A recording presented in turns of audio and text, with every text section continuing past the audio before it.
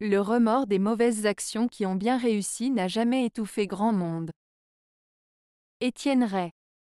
Cette citation souligne le fait que souvent, les personnes qui ont commis des mauvaises actions qui ont été couronnées de succès ne ressentent pas de remords ou se sentent justifiées.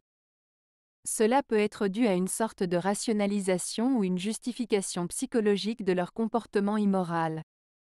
En réalité, ce sont souvent les personnes qui subissent les conséquences négatives de telles actions qui sont les plus touchées et qui en souffrent.